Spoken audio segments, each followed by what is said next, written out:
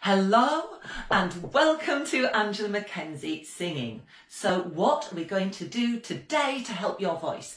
Well today is my second day of videos that's going to look at PEBRA, the five essentials of singing. So we looked at posture yesterday and today we're going to look at energy. So what is energy? By energy, I actually am going to link this to breath support, which we've looked at before. Now, when I've looked at breath support before, um, I've said that it, it kind of can help you hold on those top notes, hold on a nice long note and stop you from going out of tune. Well, it can, and obviously going out of tune is something you certainly don't want to be doing. So having that really good support down here helps that. But from an energy point of view, it also gives you that extra mm of energy, like a sports car when you can really put down the accelerator and just zoom past someone. It's a little bit like that. You can use your support in that way to give your singing a boost, to give you that little bit more energy. So if you want to just kind of give, um, I can't think of a song now, but if we're in exercise, if you wanted to go to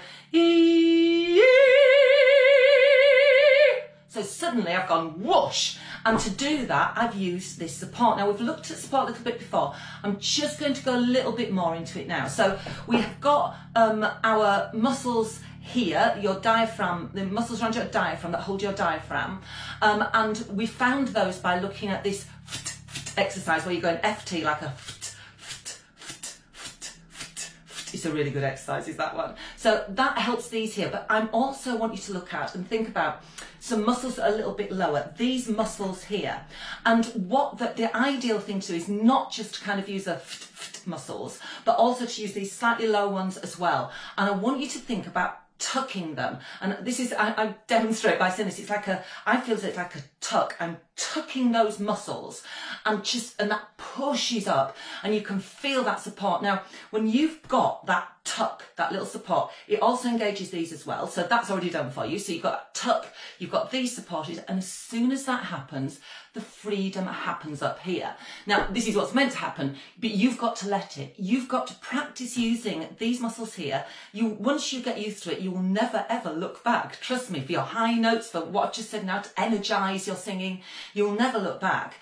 Um, but it's a case of getting used to it. And as soon as you trust these muscles here, you can open up here. So if you, I was talking about Pavarotti in one of my little um, Saturday chats, and if you watch him throwing out some of these big notes, basically everything is massively open. His throat is open, nothing moves here. It's all just open. He's got himself in the perfect position, open inside, open outside, open everywhere.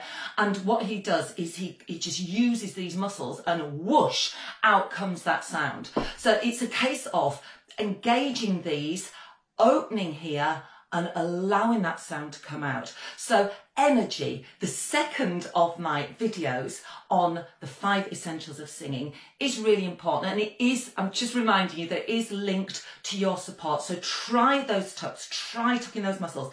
And there are other benefits to this as well. I can do fantastic amount of sit-ups and I think that is just because for all these years, I've been really using these muscles. So there are added benefits. So if you keep working on this, keep opening this and you'll be able to give that extra energy to your singing.